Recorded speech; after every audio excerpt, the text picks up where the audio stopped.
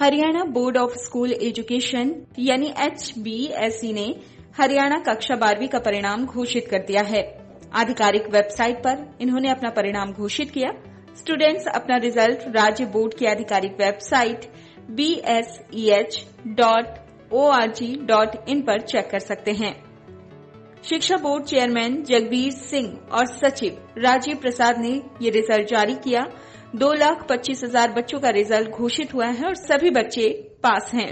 यानी रिज़ल्ट शत प्रतिशत रहा। आइए आपको बताते हैं कि आप कैसे वेबसाइट पर अपना रिज़ल्ट चेक कर सकते हैं। सबसे पहले बोर्ड की आधिकारिक website B S E H dot O R G dot in पर जाएँ। होम पेज पर ही आपको बारहवीं कक्षा के रिज़ल्ट का लिंक मिलेगा। क्लिक करके उसमें पूछी गई तमाम जानकारियाँ भरें।